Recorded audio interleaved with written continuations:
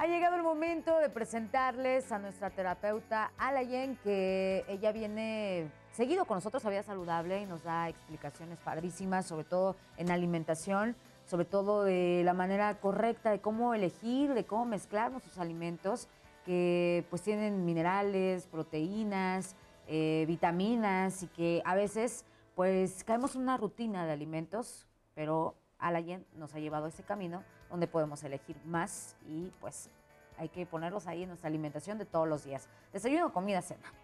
Alayen, bienvenida, ¿cómo estás? Muchas gracias, contenta. Qué bueno que estés contenta y sobre todo pues que vengas a compartirnos tu conocimiento. Vamos a hablar el día de hoy de azúcares, edulcorantes modernos y su impacto en el microbioma. Recuérdanos el microbioma. El microbioma es todo un conjunto de microorganismos que están en los seres vivos, ¿no?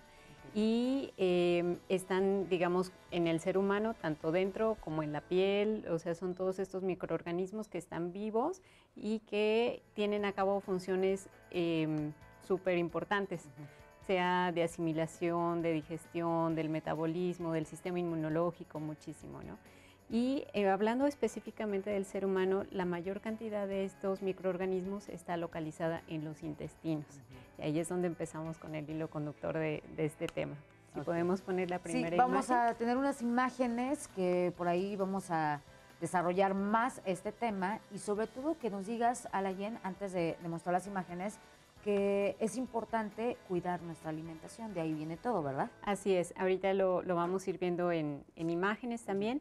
Entonces, para esto me basé en estos dos artículos y quiero empezar también un poco con de dónde vino el azúcar, ¿no? A este, empezó, digamos, en Oceanía, de Oceanía se fue a China, de China a la India, de India a Europa, Europa a América, ¿no? Y inicialmente se usaba con fines eh, para fabricación de medicamentos o era un lujo de, pues, de los reyes, de los altos em, sectores económicos que había en las diferentes etapas de la historia. Pero después, cuando se hace un plantío a cargo de esclavos, su costo baja y su disponibilidad sube y es ahí donde entra en lo que son los alimentos. Y al día de hoy tenemos que 8 de cada 10 mexicanos consume más de la dosis eh, recomendada o considerada como no dañina de lo que es el azúcar. Esto es el 80%.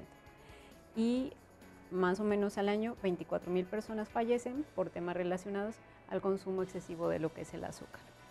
Qué increíble y sobre todo pues lo hemos visto por la mañana en la leche, en el café, tres cucharadas de azúcar, cuatro cucharadas de azúcar y no vemos el problema ahí, sino que los problemas vienen a largo plazo. Exactamente. Si podemos ver la siguiente imagen, por favor. Sí, claro que sí. Bueno, este es justo de lo que es nuestra alimentación, de lo que comemos, esto va a modificar el microbioma, cuáles son los microorganismos presentes en nuestro cuerpo. Y dependiendo de su variedad y de su cantidad, podemos tener enfermedades como lo que sería diabetes, obesidad, problemas metabólicos, problemas, eh, este tipo de enfermedades que son autoinmunes o las cardiovasculares.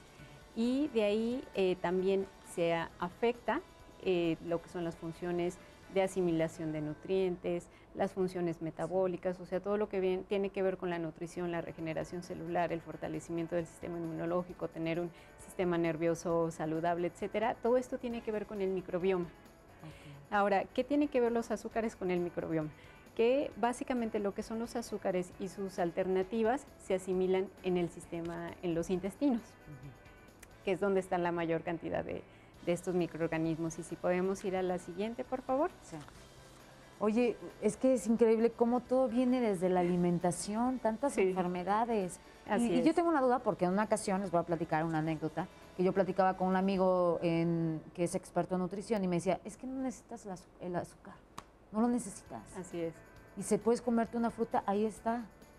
El cuerpo genera eh, lo que es energía a partir de la diversidad de alimentos que comemos. Entonces, sí, el azúcar no es algo indispensable. No te tienes que ir a comprar tu kilo. Exacto. Exacto. vamos a ver otra imagen. Ahorita va a aparecer en la pantalla. Aquí vamos a ver más o menos cómo ha ido aumentando los consumos de diferentes azúcares. Esta es una gráfica que corresponde a Estados Unidos, pero México tiene algo muy similar. Y todo lo que son la gama de edulcorantes que han aparecido en tiempos muy recientes. Y esto da dos indicadores. Uno, que ha sido claro cuál es el efecto dañino del consumo excesivo de azúcar en el organismo, tal que ha llevado a buscar otras fuentes, pero que también tienen ciertas cargas tóxicas al ah. final del día. O sea que estamos a la par. Lo que pasa es que el microbioma eh, son microorganismos vivos, entonces es como cuando tenemos una planta. ¿Qué va a crecer, qué se va a fortalecer? Depende de cómo está nutrido nuestro terreno. Y al hacer una ingesta de azúcares en exceso y de sustitutos del azúcar en, el en exceso, ¿qué es eso? Que cambia todo el terreno, cambia nuestro ambiente. Entonces, eh, por ejemplo, bacterias que si están en cierta cantidad, todo es paz y armonía, eh, cuando proliferan se vuelven eh, causantes de enfermedades. Pueden ocasionar diarreas, o sea, son como las primeras cosas tal vez llegan por el sistema digestivo o en una alteración del comportamiento. También está muy asociado a lo que es la depresión, a la ansiedad, ¿no? no solamente a temas digestivos. Entonces es, es, como simple, o sea, son microorganismos vivos, el que tiene más comida va a abundar, digamos. claro.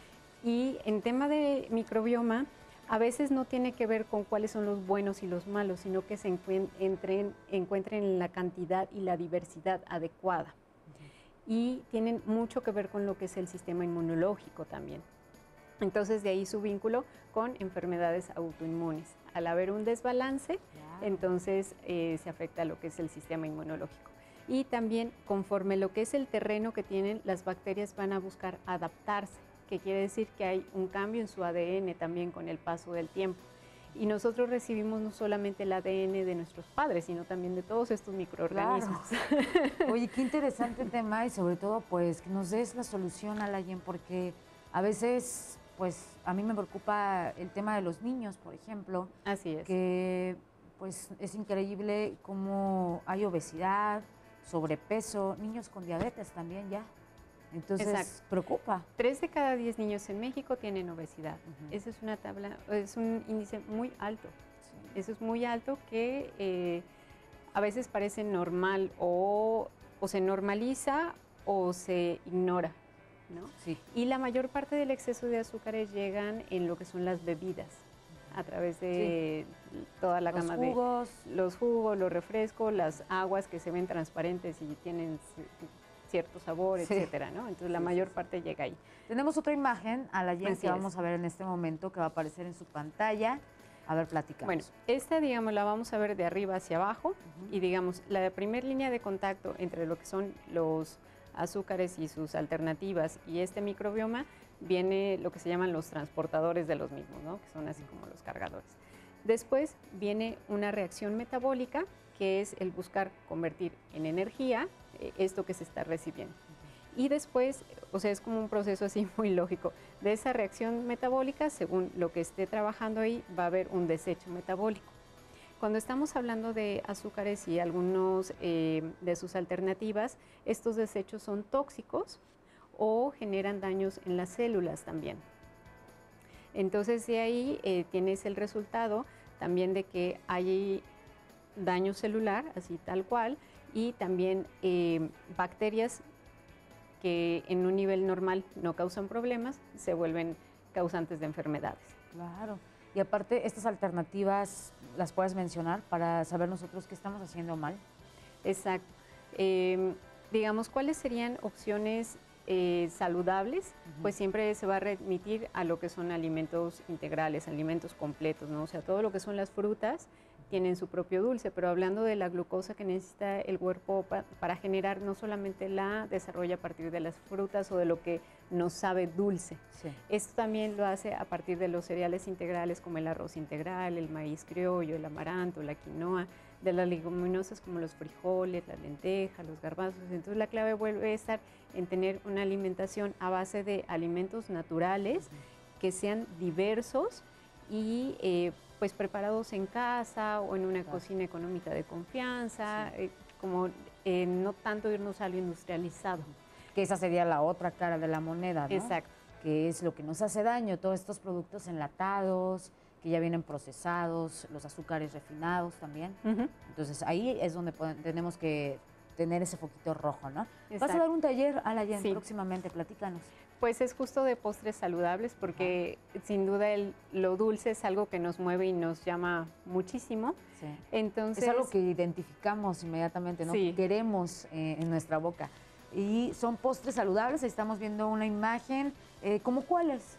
Pues este vamos a hacer unos panecitos a base de avena y plátano, un helado a base de plátano congelado, así tal cual y un, que va a ser un bocadillo a base de ciruela pasa, que es de bajo índice glicémico, coco, limón, y, buscar, también vamos a hablar de qué opciones tenemos que son más saludables cuando queremos endulzar algo.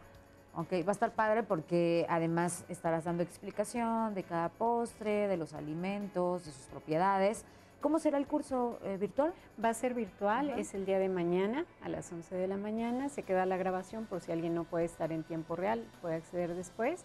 Y sobre todo es empezar a ver em, aquellos ingredientes que son accesibles como un recurso que nos acompañen en estas transiciones, ¿no? que ahorita ya está muy eh, mucho el enfoque en fortalece tu sistema inmunológico desde tu alimentación, pero es encontrar qué sí puedo hacer, cómo lo puedo ir haciendo que lo pueda hacer y que lo pueda adquirir también y que lo pueda sostener y que especialmente en lo que tiene que ver con niños y también con adultos mucho, eh, sea algo que, que, me llegue a gustar. Claro, eso es lo más importante, que nos guste. Y entonces el curso será mañana a las 11 de la mañana y además eh, alguna página. En Facebook, el apapacho de Pachamama. ¿Tiene algún apoyo económico o es completamente sí, tiene un apoyo económico. La aportación es de 250 pesos. Se les mandan avanzados los ingredientes y la idea es que se haga la preparación ahí en, tiempo real. o sea, en el momento. Exacto.